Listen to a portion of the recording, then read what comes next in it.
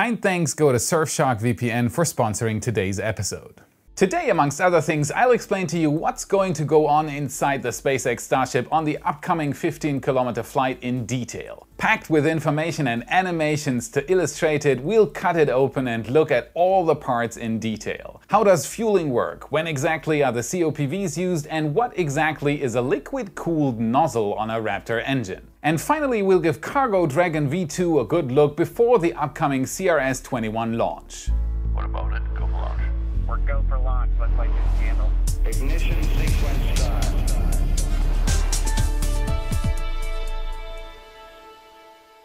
My name is Felix and I am your host for today's episode of What About It. And as always, there has been a lot going on in the space industry lately, so let's dive right in. Starship updates. Hello Y family! SpaceX is teasing us. When I put my Starship 15 kilometer flight stream online on Sunday, there were 350 people waiting instantly, 24 hours before it was supposed to launch. Trust me, we feel the same way in the What About It team. We can't wait anymore. That's why we decided to launch it anyway, so stick with me until the end, this will be a good one. Mauricio from RGV Aerial Photography has done it again, and right at the perfect moment too. His aerial footage is still the best out there when it comes to analyzing what exactly is happening on the ground. Check out his Patreon, become a flight supporter and follow him on Twitter for almost daily picture releases. And of course, we're looking at the South Texas launch site again. The place where we'll hopefully see the first real Starship launch in human history this week. Everything down there is in crunch mode and has been for the last 18 months or so. Starship serial number 8, the first flight-worthy prototype. With a first set launch window ranging from November 30th to December 2nd, there was a chance it could have lifted off early this week. This is now most likely going to be late this week. Michael Baylor from NASA Spaceflight managed to get a response that made the bubble pop. Just a static fire on Monday and flight no earlier than Wednesday. And if it doesn't perform on the launch day, SpaceX is on the safe side by now. Starship serial number 9 is fully assembled. While SpaceX was busy at the launch site getting serial number 8 flight ready, a second team at the construction site finished the backup plan. Starship serial number 9. More mature engines, more robust wiring, different stacking approach, this time at the construction site to make the nose cone seal better.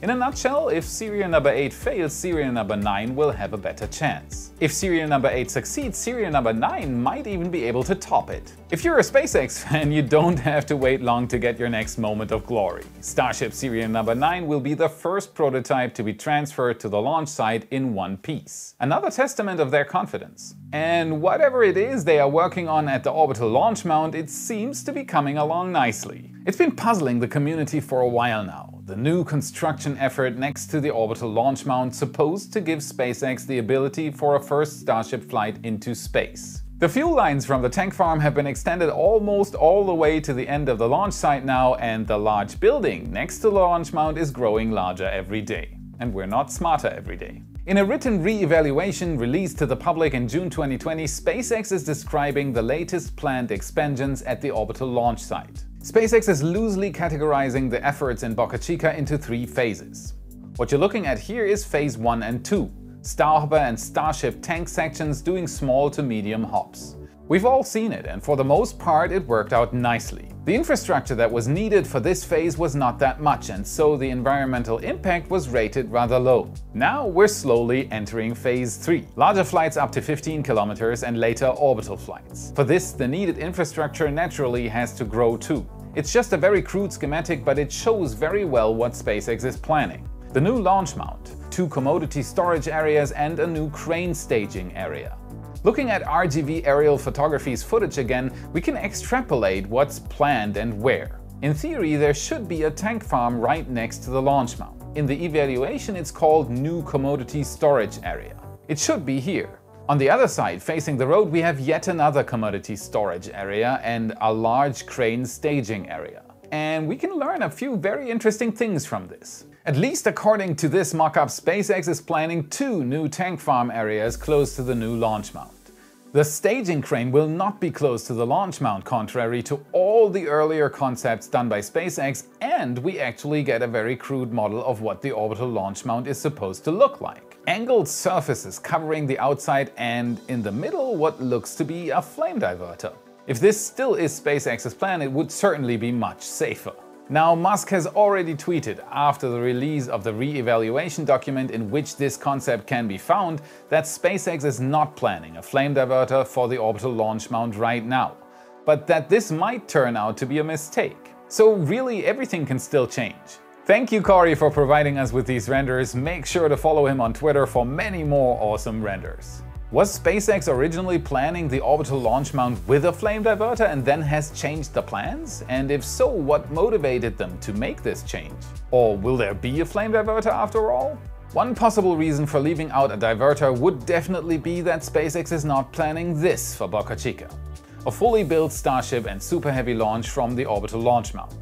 Lighting 28 Raptor engines without any sort of diverter will most likely not work after the problems we've already seen with only 3 Raptors firing for Starship serial number 8 static fires. 28 of these beasts would have more than 9 times the thrust. SpaceX building a flame diverter or not will undoubtedly give us a clue as to what's planned for Boca Chica.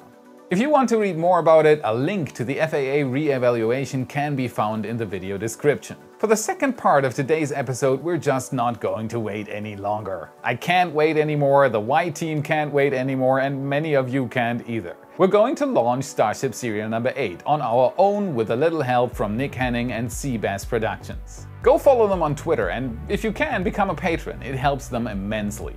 We're going to look at the upcoming launch in depth, cut open the Starship and look at what's going on inside while the Starship is in flight. There have been many questions in the past, so let's try to get rid of as many as we can before the actual launch, so you understand as good as possible what's happening while watching it with me. This is Starship serial number 8 on the testpad the latest SpaceX prototype and our candidate for the 15 kilometer flight. Nick Corey and I have been working on a full flight sequence to show you what happens on the inside during a flight. Let's open it up and see what we find on the inside. On the bottom we have the thrust section. Engine skirt with COPVs and engines inside connected directly to the thrust puck and the aft dome. Then comes the LOX tank. Inside of it we can see the downcomer. It's a large steel tube connecting the methane tank on top with the engine section. Right between the LOX and the methane main tanks we have a so-called header tank. In this case the methane header tank. On top we have the main methane tank followed by the fairing skirt with more COPVs inside and the nose cone. All the way on top inside the nose cone we have the second header tank for the liquid oxygen. So what exactly happens before launch and while the Starship is on the test stand? How are the tanks filled up and what kind of preparations are done? Follow me. The Y team needs your support. Give the video a like, subscribe and share it to show the YouTube algorithm that you appreciate the content. Want to give a more direct support? Consider becoming a patron or a YouTube member and get awesome perks like access to our Discord server where I discuss space topics with the community every day. Do you know about the Y Warehouse? Shop for your next Starship shirt or grab our famous Raptor Blueprint shirt and countless other shirts made by space nerds for other space nerds. Links can be found in the description. You rock! Roughly 45 minutes prior to launch, fueling starts. First, the LOX tank to give it stability through pressure. It will need to hold the whole Starship, including the filled methane tank, up in a moment. Once fueling in the LOX tank has started, the valves for the methane tank are opened up as well and the fueling of the header tanks is starting too. Nitrogen has also been fueled into the lower COPVs because they will be needed soon. This fueling process lasts until only minutes before launch. But for the 15 kilometer flight, the Starship will not be completely filled up. It only has three engines and Starship including propellant would be around 1320 tons of weight. So we can expect the tanks to be filled up around a third of their maximum capacity. Once done, the fuel lines on the bottom are closed and the Starship is physically disconnected from the tank farm engine chill begins. Liquid oxygen is released into the pipes of the engines at a low flow rate to let them cool down slowly. By letting the engines cool down slower, the stress on the material is kept at a minimum. Now we're approaching T-0. Right before ignition, the COPVs inside the engine bay are opened up to spin up the Raptor fuel turbopumps. And that can be seen like a Kickstarter. The pressure inside the COPVs is much higher than in the main tanks, and this gives the turbopumps the right amount of spin to be able to start up. Once ignition has occurred, the Raptor turbopumps take over and start sucking oxidizer and fuel out of the main tanks at a ratio of 78% liquid oxygen and 22% liquid methane. We're talking 300 bar chamber pressure and an exhaust velocity of 2 miles per second here. An incredible engine. That's a total flow rate of roughly 900 kilograms per second, or almost a ton per engine, of which only 200 kilograms are methane and around 700 are liquid oxygen. So the LOX turbopump has a flow rate of more than three times that of the methane turbopump. Immediately after the preburners inside the turbopumps have ignited, the methane turbopump starts sending liquid methane through the engine bell to start cooling it down. Where on a Merlin engine the bell is cooled only by radiation, the Raptor engine bell is cooled down using the very cold methane to prevent it from overheating. In addition to that, the Starship has an autogenous pressure system, meaning that it repressurizes the main tanks with the help of gaseous oxidizer and propellant directly from the engines. This enables SpaceX to get rid of the otherwise needed helium pressurization system used for example on the Falcon 9. 600 tons of thrust propel the Starship upwards. The tanks on Starship serial number 8 will only slightly be filled for the 15 kilometer flight, but even that is enough to launch it to a height of 15 kilometers. Once main engine cutoff occurs, the Starship drifts upwards to 15 kilometers. Reaching the apogee, the Starship will make first use of its RCS thrusters to swing over and get into skydive mode. Throughout the fall, we might see more RCS firing from the COPVs to adjust for a not yet perfect flap control. At a height of around 400 to 350 meters above the pad, the Starship will enter the final landing phase. With the help of its RCS system and the Raptor engine set to maximum gimbal level, the Starship swings around. At this stage, the Raptor engines are not fueled through the main tanks, as the propellant in there is not at the bottom of the tanks and thus can't be accessed. Instead, the engines tap into the much smaller header tanks for this final burn. And at this low speed, the flaps are useless, and so the Starship only uses RCS thrusters and the thrust vector control from the Raptor engine for flight corrections until it hopefully sticks the landing.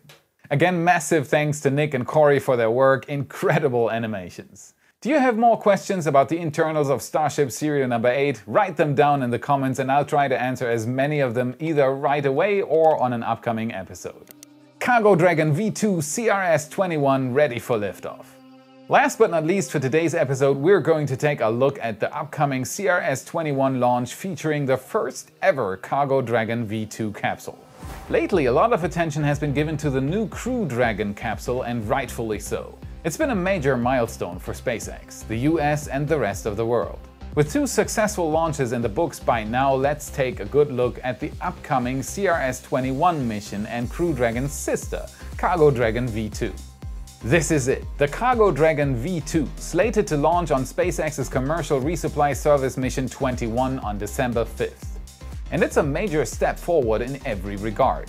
A completely new spacecraft frame based on the same Dragon V2 design that the Crew Dragon utilizes. Planned for 5 reuses, which is 2 more than the old Cargo Dragon design, it will be able to launch cheaper and carry more supplies for the International Space Station. Very similar to a Crew Dragon on the outside, it is a very different vehicle on the inside.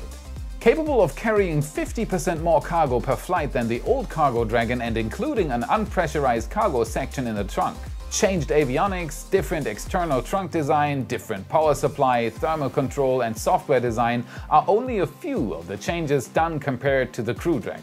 Needless to say, this is a very important mission for SpaceX and NASA. And even the cargo shows the dawn of a new space age. Packed full of cargo and science meant to catapult humanity to the moon and to Mars, even the ISS is getting ready for a new chapter in spaceflight. BioAsteroid, a follow-up mission from BioRock meant to study biological resource extraction on Mars and on asteroids. HemoCue, a science experiment to give the ability to diagnose astronauts in space. What's normal on Earth is something we can't do in space yet, blood screening on the ISS.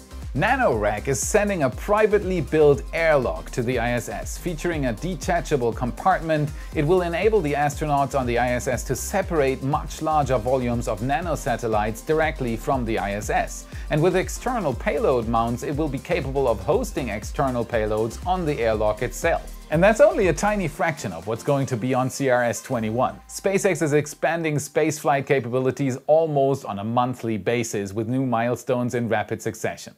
I will of course stream the launch hopefully on Saturday and watch it together with you. Make sure to set your reminders, this will be yet another first in 2020. If you're looking for something safe and affordable for your digital security, today's sponsor can help. Whether it's data and identity theft, traceability, intrusive advertising, or geo-blocking, Surfshark VPN encrypts your data and enables you to change your virtual location.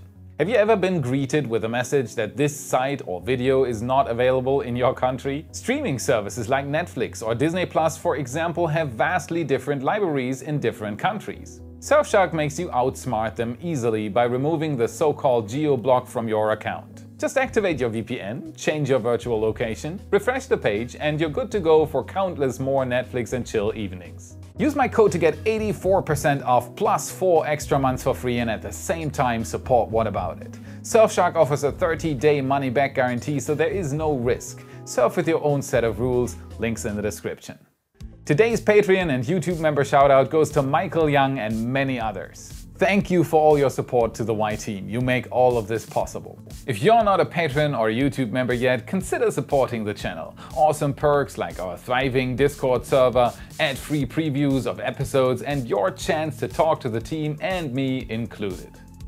Last but not least, today's team shoutout goes to Susie for absolutely outstanding efforts in the captions team. I relayed many messages from you directly in the comments to her in the past few weeks. She's the one to thank for Portuguese, Spanish, Italian, and French captions. As a former translator, she pours her heart into this, enabling many more to watch our episodes. Everyone, please leave her a comment. You're incredible. Thank you, Susie. Footage from static fire insert here. right. The fuel lines from the tank farm have evaluation. A re-evaluation. And the fueling of the header tank. God damn it. I'm kinda irritated. With new milestones, milestones, the milestone.